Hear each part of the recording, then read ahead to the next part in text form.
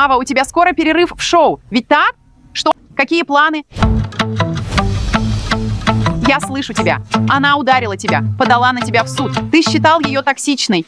Я говорил это, злившись на нее. Хочу очертить некоторые границы в наших трудовых отношениях. Хочу, чтобы ты перестала отдавать мне вещи, которые были в твоем рту.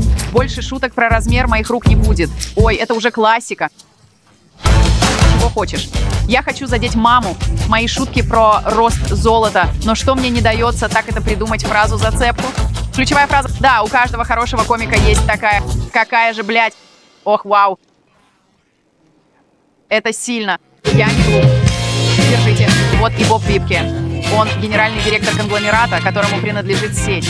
Дебора Венс, я в восторге. От моего юмора. От всего твоего. Ох, миллиардеры не должны существовать.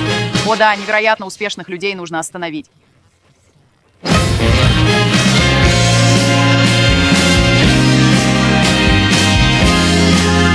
Зачем ты не выпустишь пресс-релиз, где скажешь, что ты хочешь?